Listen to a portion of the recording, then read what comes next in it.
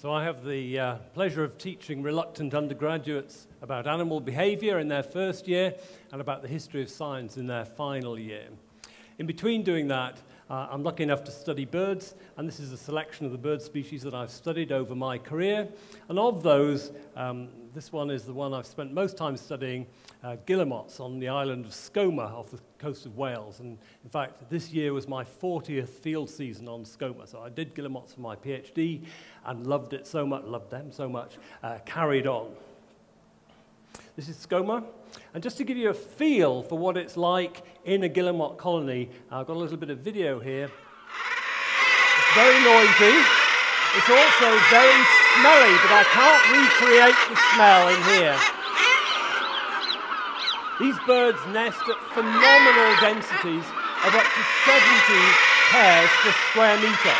So on one of these tables, you could have 70 pairs of guillemots.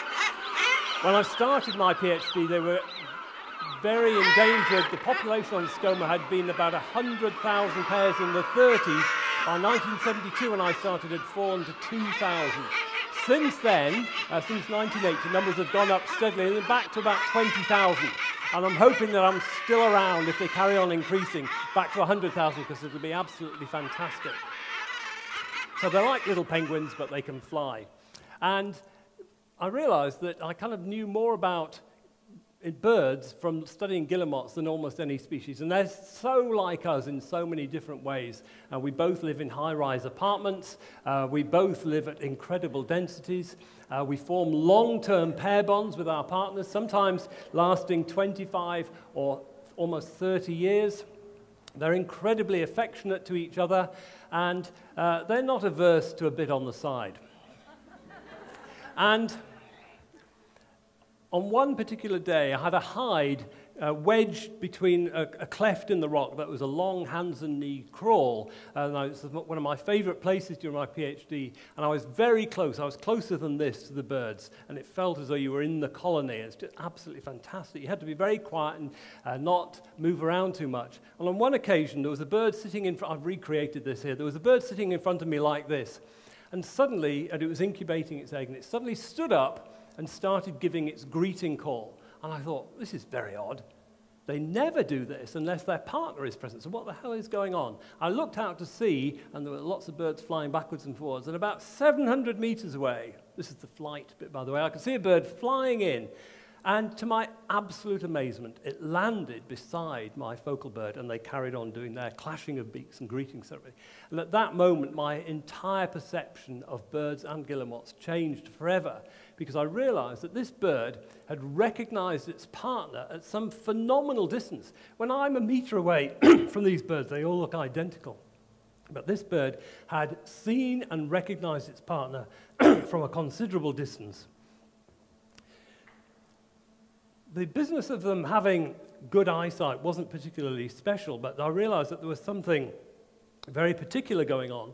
And I classify myself as what's called a behavioral ecologist. I'm interested in the evolution of behavior and ecology. But there was no pigeonhole to put that observation. And I was deeply frustrated by that. But what I did was to put it to the back of my mind where it was safe, and it came out uh, about 30 years later. So that's the bird doing greeting. Okay, I was a bit of a nerd when I was young. I read all sorts of stuff.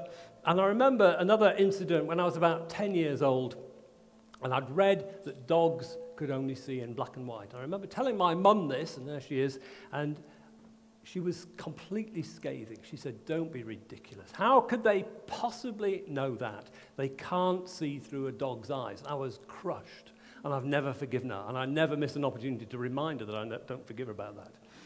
In fact, we do know a lot about that. And my mum was no philosopher, you can tell by the way she's dressed, by the way, um, but she anticipated this philosopher, Thomas Nagel, by about 20 years, who raised the question what is it like to be a bat? You could also ask what it's like to be a bird. Nagel reckoned that you could never know what it's like to be another human being. And he, to, to generate his argument, he said we could never know what it's like to be another species. And he chose a bat because he, at that time anyway, thought that bats were very similar to us, being mammals, but had a sense, the ability to echolocate, that humans don't have. In fact, I'm much more optimistic than Thomas Nagel, um, and I think there are lots of ways scientists now can know what it's like to be some other organism. Obviously, you can't know completely what it's like, but we've got a set of tools that we can use. So you can just look at the relative size of organs like eyes. So that first bird's an owl at nightjar, depends very much on vision. The kiwi beside it doesn't. You can use physiology. We can now do MRI scanning of a zebrafinch brain. The zebrafinch is only this big, which is a fraction of the size of our own brain, and you can play it its own song or somebody else's song and see which bits of its brain light up. I think this is the future for behavior. We can also use behavior, like with my guillemots. They spend lots of time grooming each other. It's just like you petting your dog. The dog loves being groomed. And when you stop, it comes and nuzzles up to you and says, Come on, do some more. Or if you're doing something unpleasant to it, like beating it, it moves away. So you can use behavior. You can also use molecular techniques. I'm just going to give you two examples of the kind of senses that birds use in conducting their lives. And the first one is hearing. This is a great horned owl from the tundra. This bird hunts for mice and lemmings under the snow entirely by hearing. It can't see them at all. How does it do it? It's got a fantastic set of adaptations. It has this huge facial disc, absolutely remarkable. And when I was researching this, I thought I actually need to get my hands on a great grey owl. And I happened to know somebody that had a pair of them. They agreed to catch them for me, and they did. And it's uh, huge. It's like holding a massive baby. And that's what I thought anyway. Um, and I wanted to see a bit more in detail about this facial disc and the ear. So I put my hand into the side by the, about here, and I was absolutely amazed because my hand disappeared up to here. Basically, that whole structure is feathers.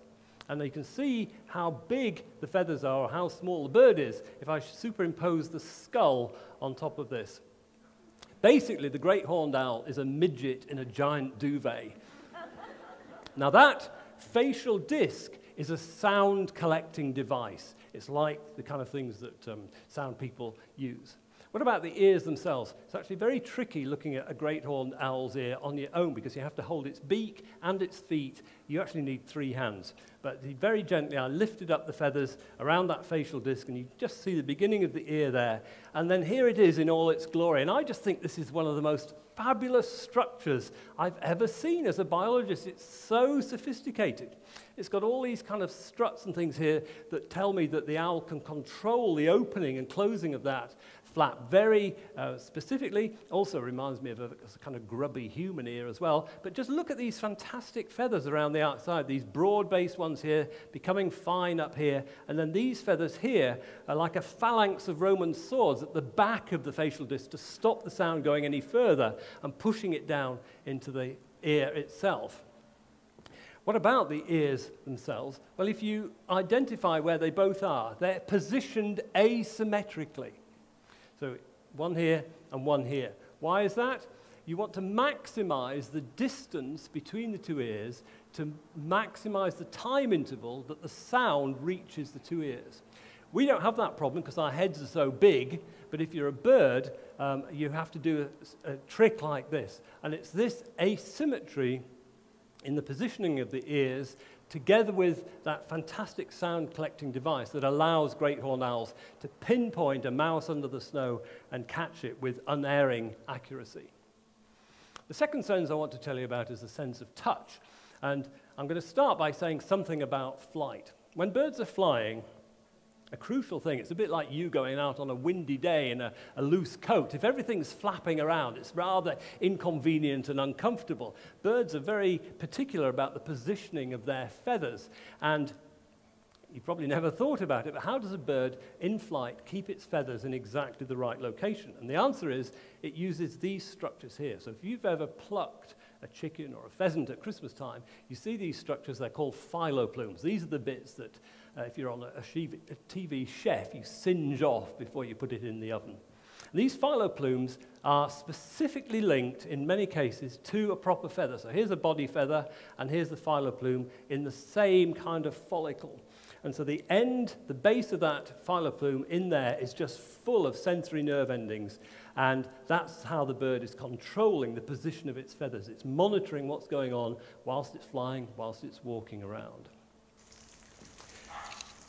For me, feeding the ducks when I was little was one of the most banal bits of animal behavior you could ever witness. So banal that nobody ever gives it a second thought. But in fact, what's happening when ducks are foraging in muddy water like this is phenomenally sophisticated.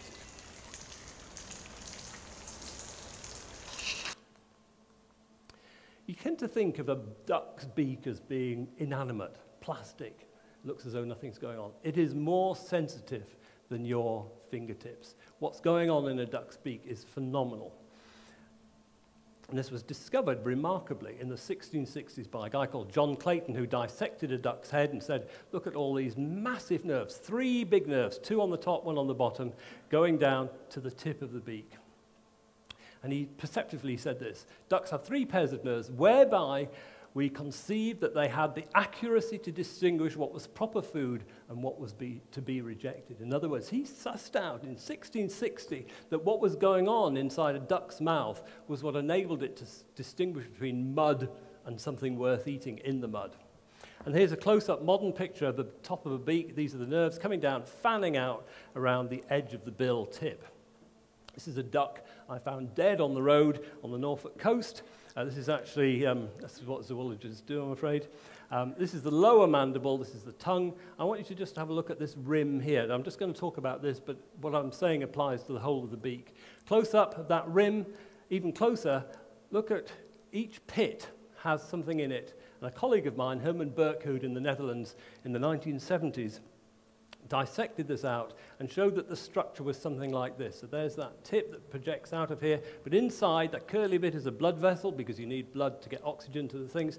And these little bits here are bundles of, well, these are nerve endings, and then each of those is attached to a thread, a nerve coming out of here, which then feeds into here and goes back to the brain. And the duck, um, using these sensors, has phenomenal sensitivity, and it's using this plus other sensors in, deep inside the mouth that allows it to distinguish between edible and inedible food. I thought I'd test this on one of my students, so I gave her the challenge of eating some muesli. See how she gets on. She does that pretty well. And then she's going to add to that a bowl of gravel that I swept off the road. And I said to her, just give it a mix up. Uh, I said, and um, whatever you do, don't eat it. I said, okay. And uh, you can't do it.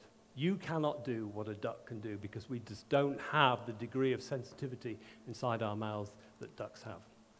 A fabulous example of touch in birds involves this bizarre bird from South and Central America called a finfoot. And this is somewhere between a duck and a grebe. And uh, this is, I've seen these in, in Central America. They're fabulous birds, very shy, very hard to study.